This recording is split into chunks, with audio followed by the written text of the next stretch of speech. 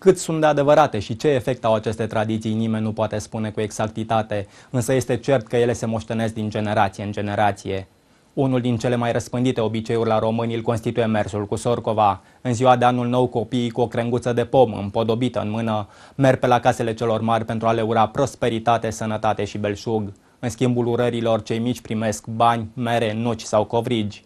Originile acestui obicei se pierd în negura vremurilor, unii specialiști considerându-l specific dacilor. Un alt obicei caracteristic anului nou este plugușorul. În ajunul revelionului, cete de până la 10 tineri îmbrăcați în haine groase, ținând în mâini bice, clopoței și nelipsitul buhai, pleacă pe la case să ureze gazdelor ca noul an să-i țină sănătoși, iar pământul să le ofere recolte bogate. Mersul cu capra este o altă tradiție pe care românii o respectă cu sfințenie. Originile acestui obicei sunt încă necunoscute, fiind plasate de unii specialiști fie în lumea dacică, fie în cea greacă. Capra este o mască al cărei cap este cioplit în lemn cu maxilarul inferior mobil și acoperit în general cu blană de ied sau iepure. Corpul animalului este făcut din pânză țesută cu motive florale.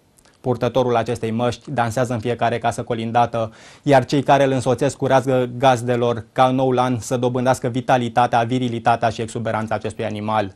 Tradiția spune că cei care sunt sorcoviți, au primit plugușorul sau capra, vor avea parte noul an de sănătate, belșug și noroc.